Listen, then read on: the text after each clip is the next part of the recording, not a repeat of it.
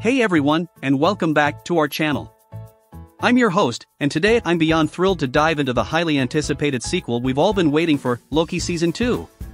So, buckle up as we break down the highs, the lows, and everything in between.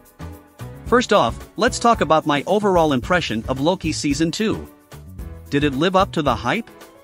In short, absolutely. This season is a roller coaster of emotions, packed with action, humor, and some mind bending twists that left me hungry for more. Tom Hiddleston once again steals the show as Loki. His portrayal of the god of mischief is nothing short of brilliant.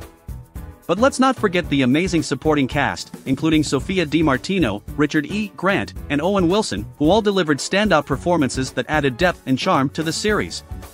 The writing in Loki Season 2 is razor sharp and witty. The dialogue is not just entertaining but also delves into profound themes like identity, free will, and destiny. It's a testament to Marvel's commitment to storytelling that resonates on multiple levels. Visually, Loki Season 2 is a feast for the eyes. The special effects are top notch, and the show's unique visual style sets it apart from the rest of the MCU.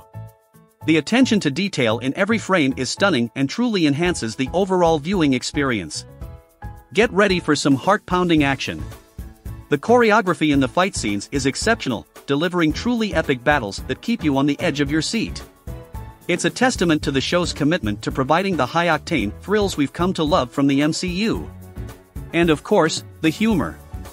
Loki Season 2 doesn't disappoint in the laughter department. The clever wit and humorous moments are scattered throughout, providing the perfect balance to the intense storyline.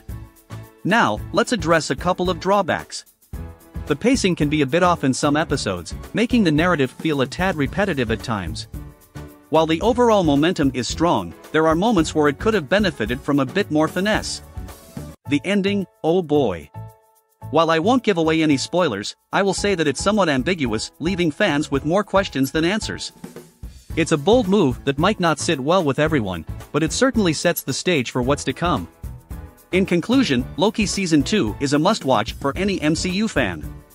It's a brilliant continuation of the Loki saga, filled with outstanding performances, compelling storytelling, and visual marvels. Despite a few pacing hiccups and the enigmatic ending, the overall experience is well worth the ride. That's a wrap for my Loki Season 2 review. If you enjoyed this video, don't forget to hit the like button, subscribe for more reviews, and share your thoughts in the comments below. Until next time, this is Host signing off. Stay marvelous, everyone!